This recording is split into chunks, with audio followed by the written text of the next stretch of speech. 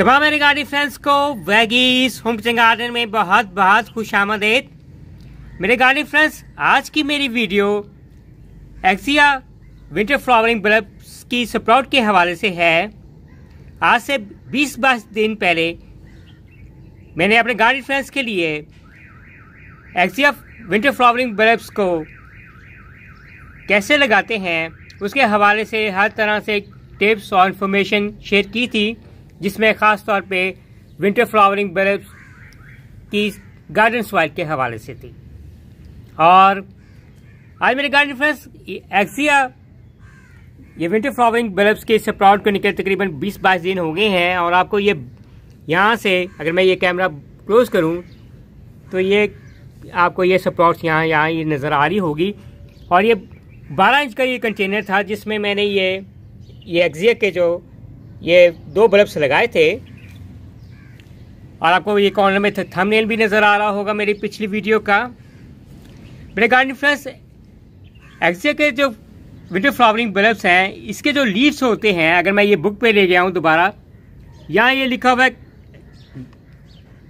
Grassy leaves यानी इसके जो पत्ते होंगे, वो घास नुमा होंगे।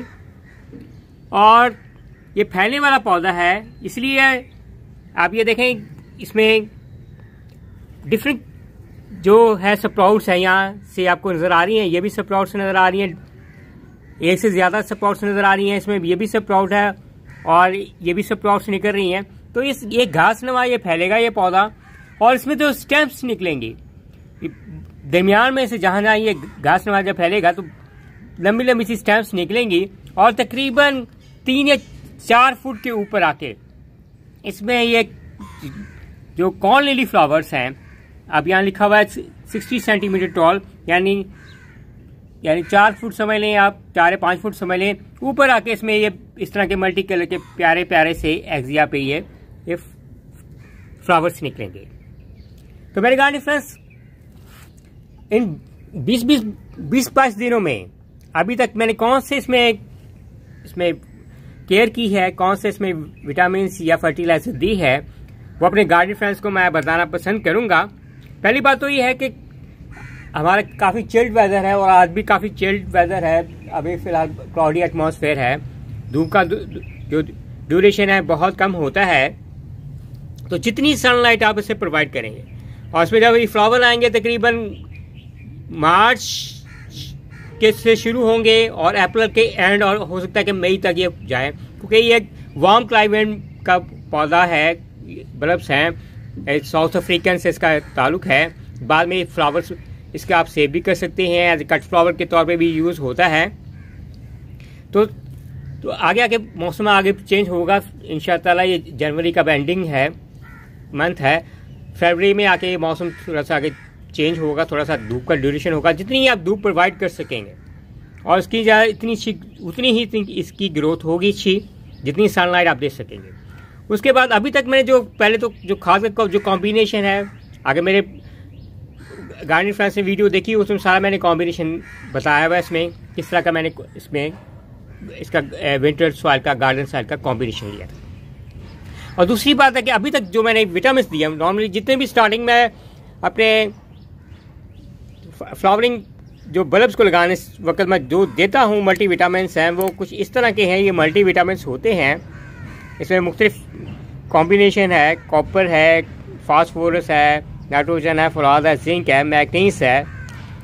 तो ना कि ये मल्टी विटामिन ये प्रोवाइड करता है इसको, बल्कि साथ ये पीएच लेवल असल बात चीज़ होती है आपका वाटर और सॉइल का पीएच लेवल एक्चुअली सॉइल और वाटर का ये जो पीएच लेवल है, ये भी इसको मेंटेन करता है इसमें। और नॉर्मली विंटर फ्लावरिंग बल्ब्स के लिए जो पीएच है, वो 5.5 से लेकर 6.4 होना चाहिए। और हमारा जो आम मिनरल वाटर है, उसका पीएच 7 होता है और आम पानी उसका पीएच तकरीबन एट होता है। तो कोशिश करें कि जब प्लांट का पीएच लेवल सही होगा, पानी अब देंगे आप, उस हवाले से इसकी जो जो सप्राउट हैं निकलेंगी पौधे की अच्छी ग्रोथ होगी। स्पॉट निकलने का मतलब है कि जब इसे, अब ये देखें, ये तकरीबन कोई, अब ये दो दो इंच तक, यहाँ तक यहाँ तक ये ये स्प्राउट्स हैं, अगर मैं कहूँ, यहाँ तक ये स्प्राउट्स निकली हैं। और उसका मतलब है इसकी रूट्स के नीचे डेवलपमेंट होगी है और बहुत ही इसकी अच्छी, अब ग्रोथ स्टार्ट होगी। तो अब जितनी आगे धूप प्रोवाइड करेंगे, आगे मुख्तु किस्म की लिक्विड फर्टिलाइज़र आप स्टार्टअप में, आप, साथ मेरी वीडियो आती जाएँगे, अपने गार्डन फ्रेंड्स को मैं शेयर करते जाऊँगा। तो बस ये थोड़ा सा बताने का पर्पस ये था कि जिन्होंने अगर बर्फ़ से लगाए हुए हैं, एक्जिया के हैं, और अगर ये वेट कर रहे हैं स्प्राउट का तो फ़िक्र ना करें स्प्राउट इन निकलेगी और ज़रूर निकलेगी। बस ये थोड़ा सा जो मैं केयर टिप्स बताए आप उसको फॉलो करें और उम्मीद करते हैं कि मेरे गार्डन फ्रेंड्स को ये वीडियो पसंद आएगी। By Asim Nawaz from veggies home सिंगार्डन